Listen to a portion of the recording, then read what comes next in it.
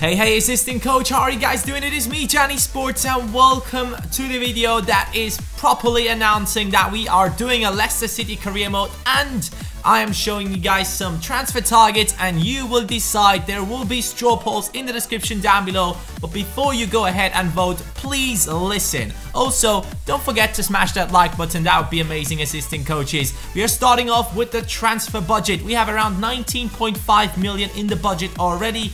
And we could potentially get around 5 million added into our budget if we do win the preseason tournament. So let's say we have around 25 million at the end of the preseason tournament and we have that money to spend on transfers. But I have to tell you something. This team, there is only three players that are set for me. Those are Jamie Vardy, and then in the center midfield position we'll have Kante. He will not go anywhere. And obviously on the right hand side, Riyad Mahrez. That guy is just so amazing. He's not going anywhere. I already played a couple of matches with Leicester City. Not recorded it though. I just played for fun. And Mahrez was just incredible. Vardy as well. So I'm really looking forward to play with those players. But there is many players that could be replaced in the future. Maybe not in the first season already, but in the second season. So let's get it started at the back with the center backs. It is Huth and then Morgan. Those two are really old. And I mean, they, they are strong. They can defend, but these two will be declining in their stats. So I need someone to take over in the next season. They might be playing this season, but in the next season, I definitely need center backs in my team that do have potential potential and can get up to that level of those players quite fast. Jeremiah St-Juste. In my last top 5 talents of the week video, I tried this guy and I completely fell in love with him. He is amazing. You guys can vote for him or you can vote on this guy who I also had on my top 5 talents of the week's video. Matt Miazga from the USA, 6 foot 3 tall. He's a bit taller than St-Juste who is only 6 foot 1 and they do have similar stats but you guys in the end will have to decide. So let me know which center back you want in my team also assisting coaches, yesterday I did a poll on Twitter and everyone, nearly everyone has said that they want hidden gems in my career mode. So I am getting talents into this team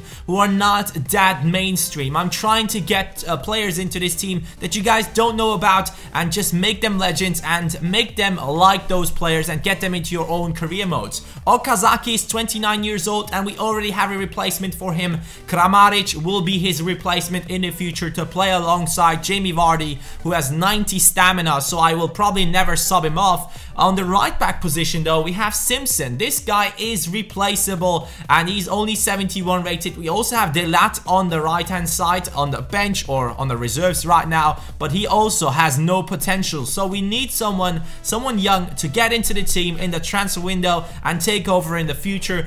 Dominic Iorfa from Wolves, 6 foot 4 tall English right back. He's only 20 years old and he's showing great potential. That is the first choice and the second choice is Almamy Touré, 6 foot tall, 19 years old, so he's a bit younger than his opponent in the poll. He's also showing great potential, so both of these players could get to a rating above 80 and you guys in the end once again will have to decide. Let's get into the CM position or CDM. It doesn't really matter because we need someone to replace Inler in the second season. He's 79 rated and he is going to be going down in his stats. We already have Drinkwater and King on the bench, but I need someone who is tall. I need a strong center midfielder alongside Kante in the future. Wilfried Ndidi is the first guy that I'm showing you. He's 18 years old, CDM from Genk, 6 foot 2 tall. And if you look at his physical stats, this guy is a complete beast. So he could turn into an amazing player with some training. And the same goes for the second choice, Kristoffer Ajer only 17 years old, so he's even younger than Ndidi, and he is 6 foot 5 tall. That is just insane. I gotta say though, his stats don't really look that promising, but it would also take some training for this guy to get to a really good level, so you guys will have to decide in the straw poll in the description for him. Albrighton. This guy actually in real life is performing so well and it's sad to see that he's only a 71 rated player with basically no potential at all in him. He's 25 years old and we only have Dyer on the bench for him as a replacement who is actually a loaned out player. So after this season he will be gone.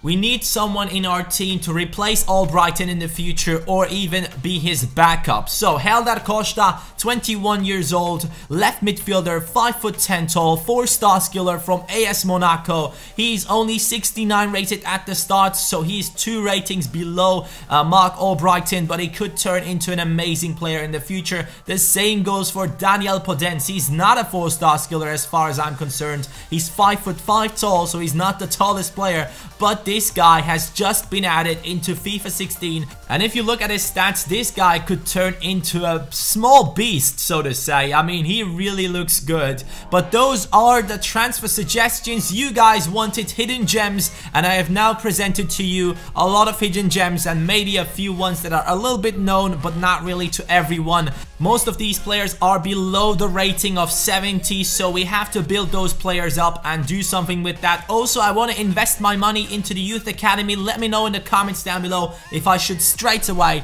buy a talent, a scout for the Youth Academy. Now you can see after one season of simming Leicester City, yes, I have simmed through a season to just see which players are actually going down in stats. Wes Morgan and Robert Huth are actually going down in stats. The same goes for Gökhan Inler. So all the players that I showed you at the start saying that we need to replace them in the future, we definitely need to do so because those players will be going down in stats and we need replacements for the future. Kramaric is going up to the 75 rating. Okazaki sticks to a 78, I think. And we also have a couple of players who have grown a lot, like Schlupp on the left back position. He's someone I do want to keep in my team and grow him alongside the career mode. He will be a sick player in the future. But other than that, I really hope you guys enjoyed this video. Let me know in the comments down below what you think of these transfer suggestions and let me know if you used any of those players and what you think of them. I will put a SoFIFA link to every single player so that you can check their stats out before voting. So guys,